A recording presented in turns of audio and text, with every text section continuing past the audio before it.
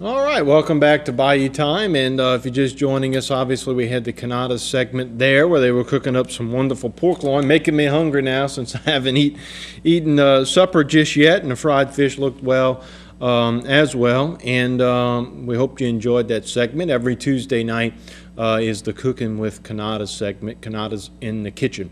Uh, with that, we have some time to open up the phone lines now. 879 1231. We're taping live again on Tuesday night. It's about 7:30 or so. If you're just joining us, there's the number on the bottom of your screen. If you'd like to get involved at the beginning of the program.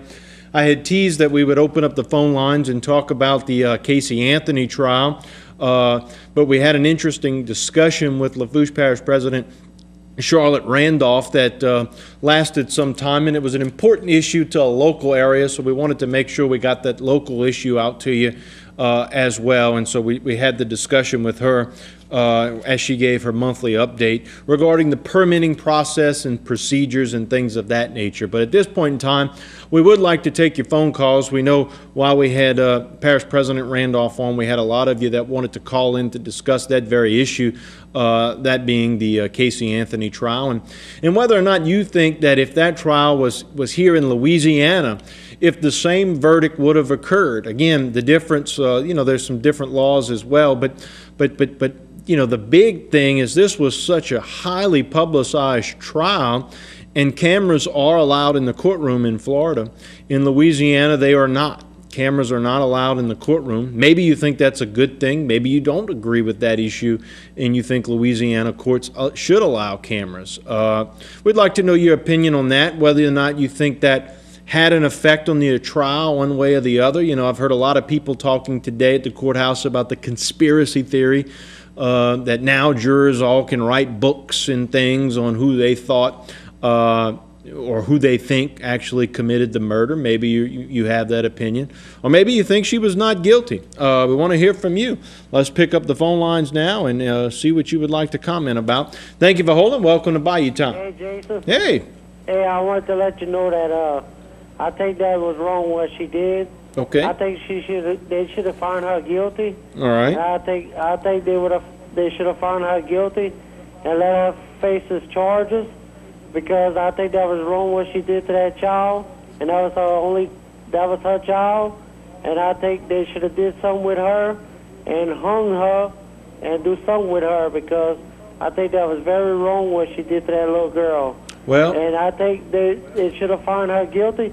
If it would have been in Terrebonne Parish, would have been a different ball game. Because Well- they don't play it down here in Terrebonne Parish. And I think I think they paid the lawyers and they played it, and they paid the judges to do what they had to do for her to not face charges. okay. All right. So you think of this trial, do, do you think the media had anything to do with the outcome, or do you just think uh, the jury just didn't find her guilty? I, I think I think the media I think the media had something to do with it too. Okay. I, I think I think a lot of people had something to do with it, so she don't face charges. All right. I think that's really wrong. She should she should have they should have gave her the death penalty. All right. Thank you for the call. All right. would think it. All right. Obviously, you know, if, if, if somebody did in fact commit that crime, well, then they should pay for it. Uh, but the jury in this case found that she was not guilty, and uh, you know she she can't be found guilty at this point in time. And uh, you know whether you think she got away with it or not, that's what we'd like to hear. Uh, let's go to the next caller. Hello, welcome to Bayou Time. Hello, Jason. Yes, sir. How you doing tonight? Doing fine. I'm watching this mess. Yeah. Uh, bruh, this woman did it. Okay. There's, there's no, no cruel, no nothing about it. Uh, I think she's gonna get some street justice later on. Because look, be one of my family, they they wouldn't get away with it. This woman is no good. Uh, her character shows all that. I don't know what these jurors were ta thinking about. This she's not mentally ill because she's very smart.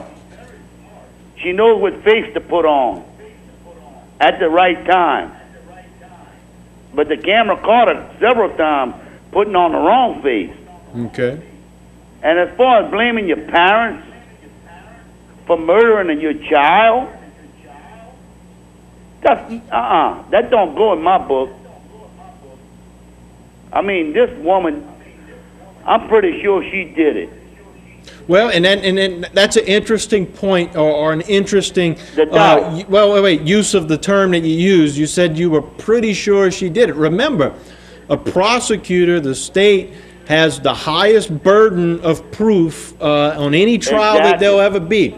Uh, and, and, and, and murder is often said, and it's often discussed that sometimes, and maybe this is a bad thing to say, but a lot of people say, and a lot of attorneys say, if you want to commit a crime, murder is probably the easiest one to get away with uh, in terms of it because the penalty is so high and the burden of proof is so high on the Exactly. state. I know where you're coming from. Yeah. I know where you're coming from. So you think But look, uh, you, you think you she's something. guilty based upon what you saw and you watched? Right. Okay. Let me tell you something. I have two grandchildren. And if one of them grandchildren are missing for two days and I can't talk to Uh, them, I hear you. Yep. I'll be searching for them, bro. Mm-hmm. And I mean it. I, I, I, agree I with mean, you. I'll, I'll be darned if my child goes missing for 31 days and I not say anything to anybody. You're right. That's right. And I can't blame it on my mama or my daddy because I killed my kid. That, that's just wrong, bro. You see, California has them laws like that too. In Louisiana, she wouldn't have made it, bro. You know that. All right. Thank you for the call. sure Let me get let me get thing. let me get to the other callers. I appreciate it. We're going to have more on this issue tomorrow night as we didn't have a whole lot of time to, to take phone calls tonight because we had some important local issues to discuss. But for the time being, before we turn it over to uh, sports, I know they had a lot of people calling today, so I stayed a little while so we could take a couple of your phone calls. Hello, welcome to Bayou Town. Yes, I was wondering about this case right here. I Yeah. mean, it's, it's, it's sad that that girl got away with it. I mean, I'm a mom of 2 You know what I'm saying? And what, what what's going on in the world today is not right. And I hope her conscience really get to her because I know I can't do without my kids. You know, and and it's really sad that she's got she's got to get away with it. Yeah, I mean, if, if, if you watched a lot of this trial from, from what a lot of people are telling me, because I didn't have the opportunity to watch, you know, everything involved, but over the holiday, obviously, you know, they showed a lot of the closing arguments and things, and you were able to kind of get caught up on the facts. You know, there were some, some things there that as an attorney, I see, well, I can see where somebody might see reasonable doubt, but boy, I tell you, to not report her missing for 31 days surely raised your suspicion. And, uh, you know, I think her acts kind of showed some things that, that a lot of people, it raises eyebrows to a lot of people. But it just shows you that the burden of proof, you know, again, it- it's not a preponderance of the evidence, it's abo- beyond a reasonable doubt, but that doesn't mean it's beyond all doubt. And, uh, you know, I, I, I question whether or not the cameras in the courtroom and the high publicity of the trial, if that had an outcome on this case. Uh, Because, let's face it, now, now, everybody can talk about conspiracy theories. Uh, Who did, who did it? You know, conspiracy theories are popular. Now, now somebody, you know, what people don't understand is sometimes jurors can profit from this. Right. Uh, and, and now you might have a juror who's out there going to write a book, and although they gave up, you know, two months of their lives in this trial, th- this might end up writing a blank check for them for the rest of their life. Uh, there, there could be a movie. Well, I think there will be a movie. I hope there is, and I hope it comes to the point where she she really has a conscience. Because if Yeah. she doesn't, then she shouldn't have any kids at all. So, so let me ask you this, if there is a movie or a book deal, uh, if she ends up taking any profit from that, in other words, if, if, if she signs some rights and she does a movie and she takes profit on that, uh, are you gonna hold that against her? Do you think that shows she's some guilt? I, yeah, Or- I really or- do think that she would be guilty about it because you know what? If you got to make a movie about your child's life that is has been missing for 31 days Yeah. and you didn't say anything about it, I think her conscience will kill her. You know what I'm saying? I hope to God that it does because she deserves it. Who who would ever kill a kid? You know what I'm saying? They're sick pedophiles and rapists and murderers. And, you know what I'm saying? You do not kill your kid. You know, that that has no moral. She has no kind of conscience.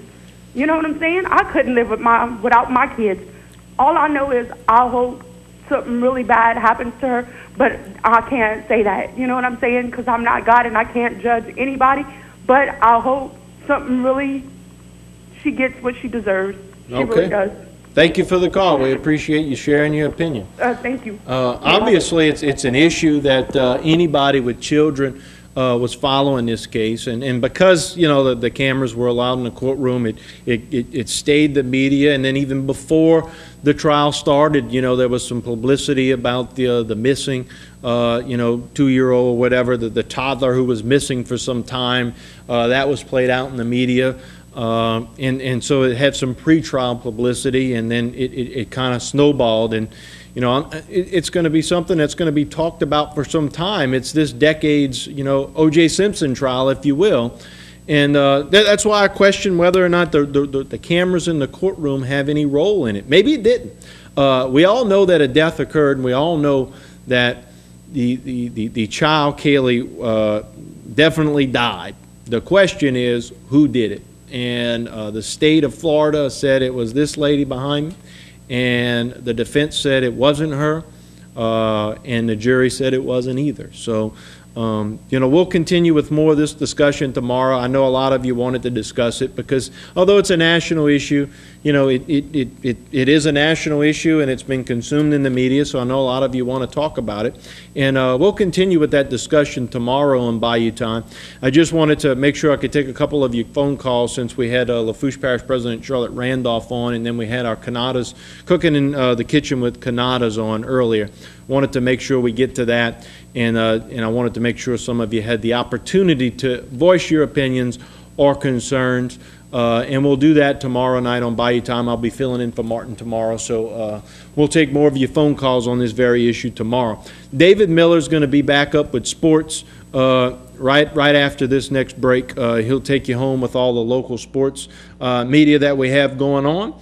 And uh, with that, I also do want to thank everybody once again uh, for all the calls that uh, you know my family has received uh, regarding my dad's uh, issues, and uh, everything is fine. He's doing he's doing really really great right now, really wonderful, and he intends to be back on the show on Thursday night. So he's back at the office, been doing a lot of catch up work. So unless he has something pop up at the office that he needs to handle, he'll be back on the set of Bayou Time taking your phone calls on Thursday night. So we look forward to having him back on the set once again. So with that, uh, I'll bid you adieu, good night, and uh, David Miller will take you home with sports right after the break.